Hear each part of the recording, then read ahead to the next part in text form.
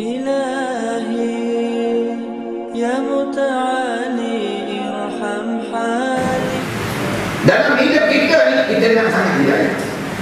Sehingga setiap kali mana solat kita kena sebut ihdinas siratal mustaqim. Ya Allah tolong hidayahkanlah kami ke jalan yang lurus ya Allah. Jangan kita ingat hati kita ni hebat. Jangan kita rasa amalan kita ni hebat.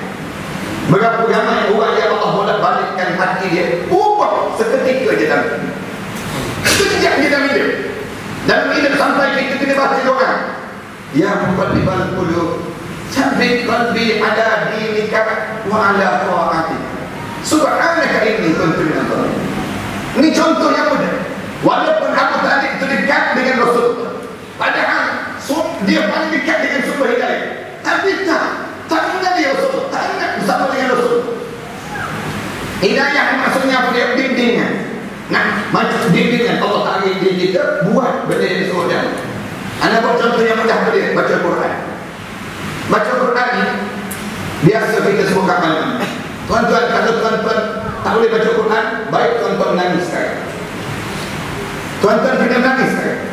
Kalau tuan-tuan tak boleh baca Quran, tuan-tuan mati dalam keadaan tak boleh baca Quran, masuk di dalam kubur malam ni, confirm tak lepas depan Allah. Tak lepas, masuk dalam kubur yang tak lepas. Mereka tanya terus, Quran baca Quran, Quran. Belum, belum, dia baca belum. Kamu Quran boleh baca? Tak boleh. Kamu buat apa dia tadi? Mereka tanya balik, kamu buat apa dia tadi? Aku dulu kamu 30 tahun, 40 tahun, 50 tahun, 60 tahun kamu hidup, gagak gagak, gagak gagak, tak boleh baca Quran. Kamu buat apa dia tadi? Tak boleh. Tak boleh baca. Kamu buat apa dia? Sibuk, sibuk. Hidup. Tak ada faedah dia. Orang tanya, kenapa kamu tak boleh baca Quran? Tak boleh baca Ustaz. Kenapa tak boleh baca? Saya benar Ustaz saja. Kenapa benar? Saya makan semua banyak sangat dulu. Kecil-kecil dulu saya makan semua Ustaz. Bukan semuanya, bukan semuanya dengan kengga-kengga saya makan. Nah, semuanya tak boleh. Sebenarnya kamu tak diberi hidayah kepada Allah. Kalau kamu diberi hidayah, orang. Tolong ajar saya, tolong ajar saya. Saya nak mati dalam keadaan saya boleh baca Quran. Menangis dia, tolonglah. Saya perlukan bacaan Al-Quran dalam hidup saya. Tuan-tuan jangan ingat kita ni, jangan ingat kalau kita diberi hidayah oleh Allah, yang didasarkan. Ikut dia pada kita. Ni tak orang tanya dia, kamu tak boleh baca Quran? Tak boleh. Tapi kalau kamu mati nanti, kalau saya mati nanti tak apa, orang tolong baca dia. Orang tolong baca, padahal diberi hidayah dia. Tu baru baca, belum lagi faham Al-Quran. Belum lagi hafal Al-Quran. Hafal Al-Quran dalam hidup sebutnya hidayah kan.